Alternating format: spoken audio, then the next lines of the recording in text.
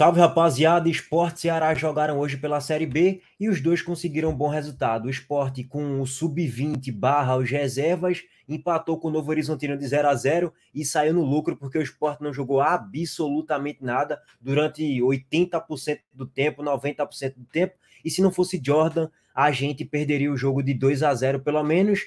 E para mim o grande erro de Anderson Moreira é não detectar a gravidade do problema do elenco do esporte e daqui a pouco vamos aprofundar mais uma vez sobre isso, tá?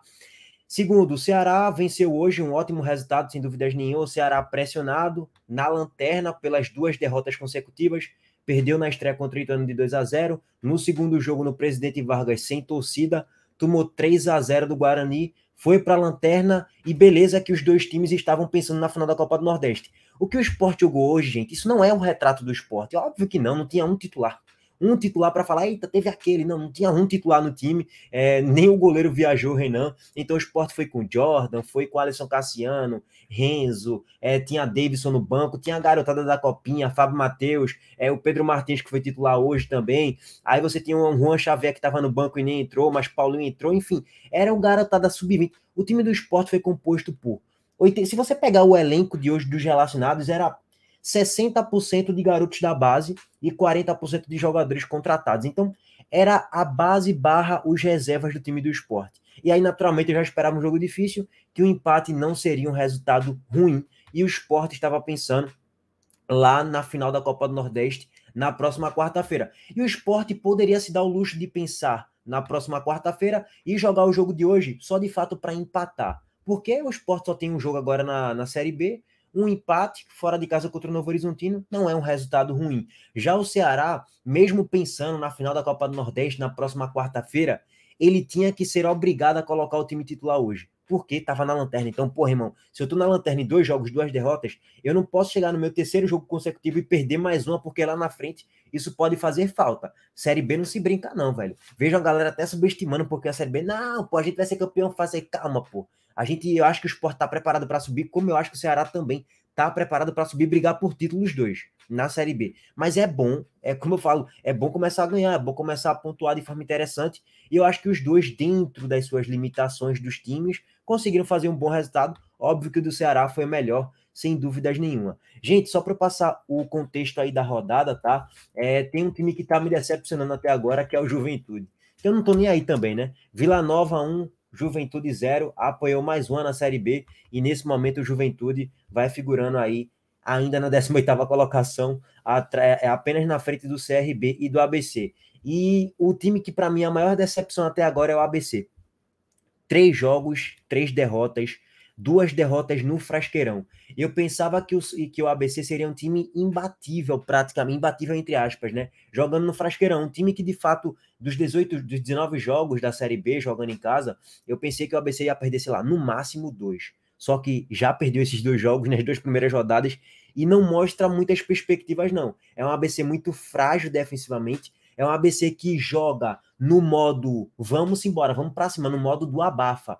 Tipo, vamos embora, vamos para cima, tô com o apoio da torcida aqui, vamos se atirar para cima dos caras e vamos ver se a gente acha alguma coisa aqui. Jogando a bola na área, é, espetando a bola pelas laterais e cruzando a bola na área, indo pro abafa, famoso vamos na empolgação. Eu vejo um ABC muito desorganizado nesse início de Série B, um ABC muito é, instável durante o jogo. E se um time tiver um mínimo de organização e um mínimo de eficiência, ganha fácil desse time do ABC, inclusive no Frasqueirão, onde eu achava que seria a grande força do ABC nessa Série B. Então, é, o início da Série B do ABC passa uma perspectiva de briga para não cair mesmo, tá? O Juventude eu não estou acompanhando, nem posso falar porque eu não vi nenhum jogo do Juventude. Do ABC eu já vi dois jogos é, nessa Série B. Um time muito diferente do ABC que começou a Copa do Nordeste ali, mas enfim, vamos ver se o time vai conseguir reagir, né? O CRB começou mal também, dois jogos, dez derrotas, a Ponte com um ponto, e o Sampaio Correia já começou de um jeito que é abaixo do que eu esperava, mas já era ali um pouquinho do G10 para baixo mesmo. Sampaio Correia piorou em termos de elenco e piorou em termos de futebol apresentado de fato. E o Sampaio Correia perdeu de 3 a 1 para o Mirassol em casa. O Sport conquistou seu primeiro ponto hoje e ainda está com dois jogos a menos em relação a todo mundo, né? O Ceará saiu ali da lanterna e foi para a 13 terceira colocação. Aí tem Havaí, Ituano, Novo Horizontino e o resto é o resto, tá, gente? Vitória, Guarani, Botafogo de São Paulo, Criciúma é, fecham é, o G4. Gente, Primeiro, sobre o jogo do esporte, eu não vou nem fazer uma grande análise, eu vou apenas dizer os números aqui, tá? O Novo Horizontino finalizou 19 vezes, enquanto o esporte finalizou apenas 4 vezes em todo o jogo. Das 19 finalizações do Novo Horizontino, 11 foram para fora, 4 no gol e as outras 4 finalizações bloqueadas. E agora eu vou tocar no ponto de Nelson Moreira. Dessas 4 finalizações do Novo Horizontino no gol, quatro excelentes defesas de Jordan. Umas muito boas, outras boas, e ele fez uma partida muito segura no primeiro tempo e no segundo tempo. Mostrou reflexo, mostrou segurança na saída de jogo, na bola aérea, mostrou ser um goleiro muito mais seguro do que Renan. Se daqui a um mês ele vai ser melhor, não, não sei, mano. Não sou mãe de nada para saber o que vai acontecer daqui a um mês. Mas Jordan se mostrou, no jogo de hoje, pelo menos, muito mais seguro do que Renan. Óbvio que é só um jogo de Jordan, teve outro jogo contra o Central, mas o recorte é muito pouco. Fato, isso é um fato. Mas assim, gente, o grande problema, para mim, o grande defeito do trabalho de Anderson Moreira até agora, e óbvio, só para deixar claro, eu não estou falando que o trabalho é ruim, tá? Eu estou falando que o trabalho é bom, mas o grande defeito é literalmente não saber até onde vai a limitação do grupo de jogadores do esporte. Até onde vai a limitação? Eu não sei, gente. Nem o treinador sabe. Ah, mas ele treina com os jogadores. Isso é verdade. Ele sabe mais do que a gente. Isso é um fato. Só que o campo ele vai falar e vai gritar na nossa cara. Por exemplo, hoje, mais uma vez, Anderson Moreira não testou Juan Xavier. Aí vai vir a galera agora. Ah, você tá falando que Juan Xavier é um novo craque? Não, não é isso. Não tô falando isso. Eu estou falando pra Vamos detectar até onde vai a gravidade do nosso do nosso setor ali de meio campo. Até onde vai a gravidade? Eu não sei. Eu sei que Matheus Vargas é inqualificável, é horroroso, é inútil em campo. Você às vezes até tem dificuldade de procurá-lo, de achar em campo. Você fala, Matheus Vargas tá jogando. Aí você tenta caçá-lo. Vamos procurar aqui Matheus Vargas em campo. Vamos procurar mesmo, gente. Quando eu falo procurar, não é modo figurativo, não. Vamos procurar na TV se a gente acha Matheus Vargas. E a gente tem dificuldade de achar. Ele é tipo um Gasparzinho, ele some do jogo, de tão horroroso que ele é. É como jogador de futebol, óbvio. É, me surpreende negativamente, inclusive. Já sabia que ele era horrível para a Série A, mas para a Série B ele é muito pior do que eu esperava. Enfim, não é to... e só um detalhe, né? A única grande chance do esporte na partida cai nos pés justamente dele. é inacreditável, não. É inacreditável, não. Bola de Fabrício Daniel na ponta esquerda. Ele dá o tapa para trás, Matheus Vargas na grande área, sozinho, finaliza em cima do zagueiro. Se ele chuta na barra, era gol do esporte, o esporte venceria o jogo sem jogar nada, o esporte ainda ia vencer o jogo com um sub-20. E, e, só para deixar claro, tá? É, eu não vou nem cobrar e exigir um grande futebol do esporte hoje, porque eu já sabia que o jogo era um pouquinho dessa forma aí, eu já sabia que o esporte ia sofrer. É, sofreu até demais do que deveria e atacou até de menos do que eu achava que poderia atacar. Mas, enfim, foi um jogo bem abaixo do esporte hoje, sem dúvida nenhuma. Mas isso aí já era, de certa forma, esperado. Aí você tem a grande chance do jogo nos pés de Matheus Vargas e ele perde. Beleza. Só que é que tá o ponto, gente. Até onde vai a gravidade do esporte no setor de meio atacante? Juan Xavier, se entrasse hoje, poderia fazer um bom jogo? Poderia. Poderia fazer um jogo ruim? Poderia, não sei. Como é que eu vou saber se eu não sei? Se ele não joga, aliás, como é que eu vou saber se ele não joga? Não sei, pô. É, ah, aí Jordan. Vamos tocar no ponto de Jordan. Foi o melhor em campo hoje, disparado. Se não fosse ele, o Sport perderia 2 a 0 Aí o que eu falava para vocês um mês atrás, quando Jordan foi anunciado. Anderson, testa Jordan. Vai, vamos testar ali um pouquinho em dois, três jogos para saber até que ponto Jordan pode ser útil nesse elenco. E, tal, e aí aqui tá o ponto, gente talvez nem problema a gente tem. Esse é o grande ponto. Hoje eu tive um debate é, com, a, com, com, os inscritos durante a live que a galera falava: você pedia assim, Paulinho. Não, não é isso. É que eu pedia a base, eu pedia os jogadores que estavam merecendo um pouco mais de minutagem. Não é que eu pedia a Paulinho pelo fato de eu achar ele um craque do futebol. Não, não é isso. É para saber até onde Paulinho pode render. Esse é o grande ponto. Até onde Paulinho pode render? Com o jogo de hoje já tem uma noção maior. Ele entrou no segundo tempo e foi substituído no próprio segundo tempo. Aí a gente pega o recorte dele de outros jogos, vê ele na base. Pô, a gente já tem uma noção. Esse aqui não serve mais. Tem que ser emprestado para um, sei lá, é, um CSA, confiança. Times de série C e D, porque para o esporte ele não tem nível técnico para jogar hoje. Empresta ele para ganhar rodagem em outro time de divisão inferior. E aí tu vai rodando o elenco. Beleza. Beleza, já tenho noção até onde Paulinho pode nos oferecer de qualidade. Não tem explosão, não tem força física, não tem um mano a mano interessante. Então, pô, hoje foi mais um jogo para eu saber até onde Paulinho pode render. Se Anderson coloca Paulinho dois meses atrás com consistência, a gente ia saber onde, até onde Paulinho poderia render. Há um tempo maior. Há mais tempo. Mas ele fez isso? Não. Beleza. Jordan, já falei, goleiro, já cansei de falar. Talvez a gente nem perderia o jogo no Castelão, no jogo da ida da final da Copa do Nordeste. Talvez a gente não perderia. Se Jordan fosse o titular. Ah, você ia trocar o goleiro na final? Não, não é isso. Mais ou menos não é isso. É que três, quatro semanas atrás, se tivesse ali, ó, os goleiros se revezando, Jordan, ele ia mostrar por que ele é melhor do que Renan e ele seria titular, ganharia titularidade com o decorrer dos jogos e jogaria a final. E aquele gol que Renan tomou, Jordan não tomaria. Eu tenho convicção em afirmar isso. Ele não tomaria aquele gol. Então, o grande ponto de hoje foi: temos goleiro, pelo menos. Vai ser um grande goleiro? Não sei. Vai ser um goleiro ruim? Provavelmente não. Mas vai ser um goleiro melhor do que Renan e mais decente. Até que ponto ele vai ser bom, não sei. Aí o tempo é que vai dizer. Então, a gente viu hoje, pô, temos goleiro. Temos goleiro. A volância, a gente já sabe o que esperar da volância. Por que a gente já sabe o que esperar da volância? E por que a gente não está preocupado com esse setor projetando Série B?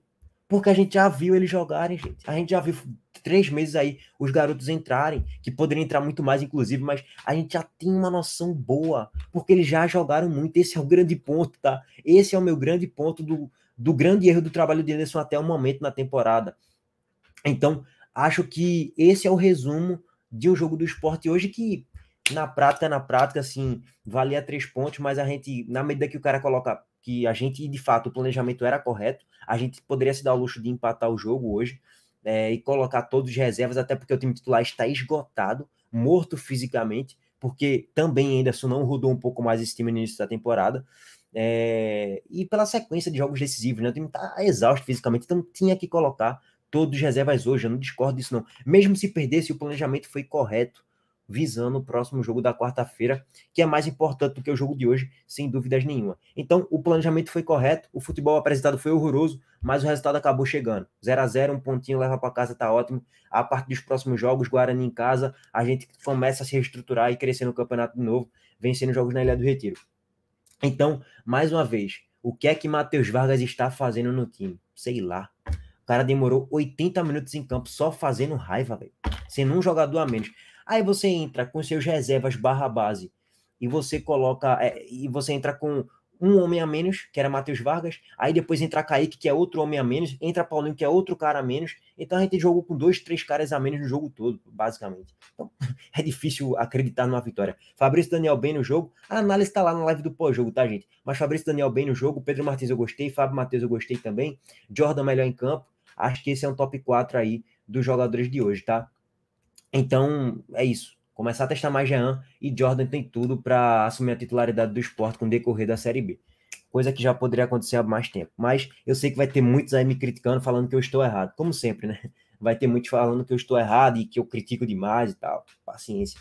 É, bom, gente, passando agora para o Ceará. É, o Ceará, como eu já falei, precisava da vitória, venceu, não convenceu, até porque o ABC criou várias e várias chances para fazer os gols e acho que um resultado justo hoje era um empate. O Ceará foi dois times na partida, basicamente, se a gente parar para pensar.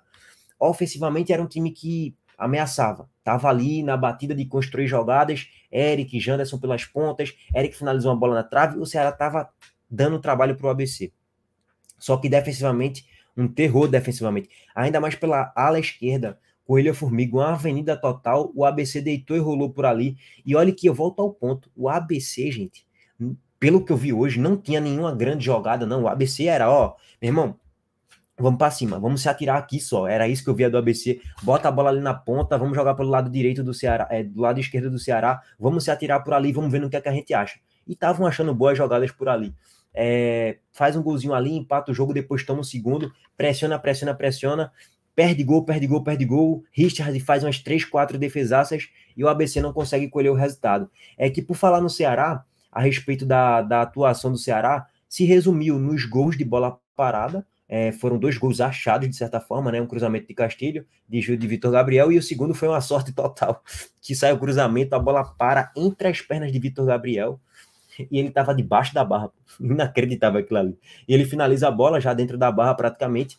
É, e o Ceará consegue vencer e cria outras chances ali interessantes. O Ceará se mostrou muito vulnerável defensivamente. Os volantes mal, os zagueiros mal e o lateral esquerdo muito mal. Foi uma avenida ali pela ala esquerda do Ceará e Janderson poucas vezes voltou para marcar, sem dúvidas nenhuma. Mas enfim, é, o jogo da volta da final da Copa do Nordeste é um outro jogo.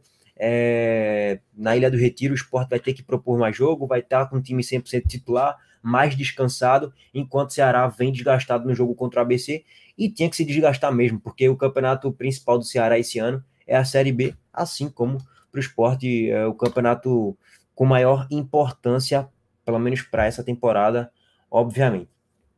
Bom, gente, assim, de modo geral, é isso. É, e aí aguardar a sequência e tamo junto. Não tem muito mais o que falar, não, tá? Resultado bom para os dois. O Sport 0 a 0 pelas circunstâncias de jogo, a gente não jogou nada, toda hora perdendo bola na saída de jogo, recebendo vários cruzamentos, bola aérea, todo momento o esporte sofrendo demais. É raro o esporte não perder esse tipo de jogo, porque o esporte ama perder jogo assim, e acabou não perdendo. E o Ceará venceu, apesar de não fazer um bom jogo, é um grande jogo e tal. É, era isso que importava hoje, os três pontos. O resultadismo fez valer a pena para os dois. E aí, o próximo jogo de fato é que vai valer ainda mais, né? Vale o tetra da Copa do Nordeste para o esporte ou o tri da Copa do Nordeste para o Ceará. E aí vamos aguardar. Bom, isso aí a gente traz um vídeo, uma live para um, uma outra análise de fato mais específica sobre o jogo, tá? Tamo junto, abraço para todo mundo. Valeu!